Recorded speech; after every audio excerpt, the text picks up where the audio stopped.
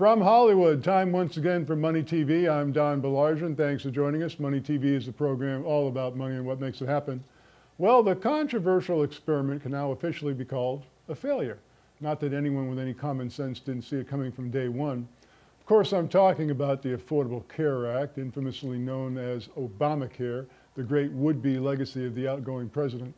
Passed by a partisan Congress, most of whose members didn't bother to read it, passed without a single GOP vote in favor, passed as Nancy Pelosi said so we can see what's in it, signed into law as Joe Biden referred to it as a big effing deal, Obamacare has come to represent all that's wrong with government when we let them get their grubby little hands into more of our private lives. The Supreme Court let it slide. The billion dollar website didn't work for months. People who were promised they could keep their health plans and keep their doctors soon found themselves reading policy cancellation notices and letters from doctors saying they could no longer serve their needs. For many middle-class American families, premiums doubled, coverage quality declined, and deductibles went through the roof, paying more to get less. Amidst all the bad news, state exchanges shutting down and insurance companies pulling out, the administration and the bought and paid for puppet media touted the law as a success because so many more people were covered. Well, of course more people were covered. When you make it illegal not to buy it, what else do you expect?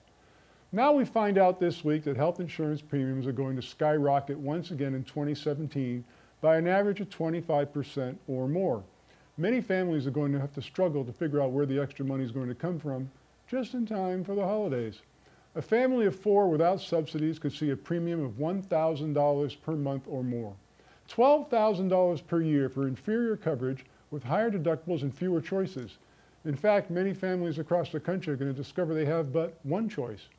This debacle hits the middle class right in the gut. The rich can afford to pay whatever. Those on subsidies will have the increases covered by the federal government, the same federal government hurling towards a $20 trillion debt. But the middle class family who buys their own insurance, well, they get nailed again.